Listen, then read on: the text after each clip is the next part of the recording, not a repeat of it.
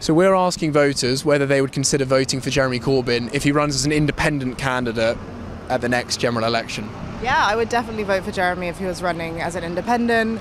I feel like what happened to him within the Labour Party was obviously really difficult and really horrific and I think that like the amount of work and advocacy that he's done within Islington North um, is really unparalleled and I think that he should have the opportunity to run and yeah to stay embedded in the community in that way. No, he's an unknown entity. He's not really putting himself out there. So when was the last time you saw him on TV? For the fact that I think he's a very present um, constituency MP, I think most of the people in this constituency kind of see what he does for them, and he represents not just the people of Islington North really, really well. I think he also um, on the international stage and everything else, he's he's quite good as well. So he gets ticks for me all, all in all the boxes. If I'm going to vote for somebody, I want to see someone that's made an effort, um, and I don't see Jeremy Corbyn has. Uh, first of all, he's a really good constituency MP. He lives in the borough, not that you have to, but you know he's visible and he's a good constituency MP on all sorts of issues, including potholes, schools. You know, not just. You know.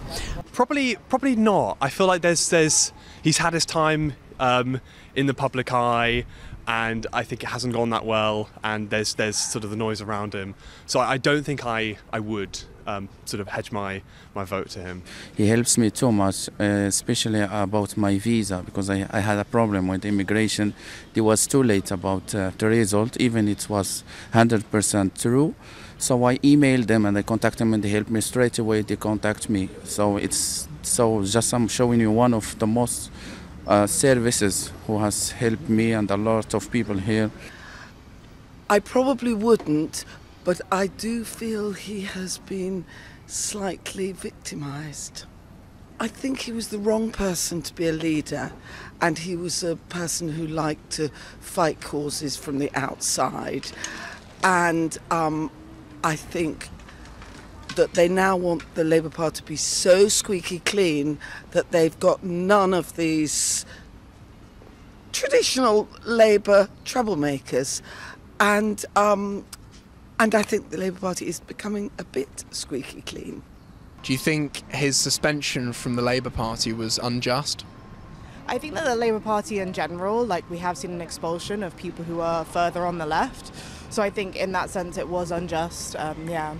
To be honest, I don't. I think he should be running for Labour, and I think it's a shame he's been, um, you know, the whip withdrawn. Um, I don't actually think that he's said anything wrong. I wouldn't vote for him now. Would you vote for the Labour Party instead, do you think? Oh, 100%, of course. I'd never vote Tory in my life, just based on morals. Um, yeah, I think Labour are making a big mistake if they put someone up against him. Do you think he can win? Yeah, I think he can win. Um, I think that uh, his campaign team, from what I've heard, like are very competent and I think very well organised. Um, I think that he is well known as a name in this area, and I think that usually, like you might expect, oh, whoever the Labour candidate is, that's who people are going to kind of put their cross in the box for. But I think his name like really carries in this area, um, and I think, yeah, I think he can win.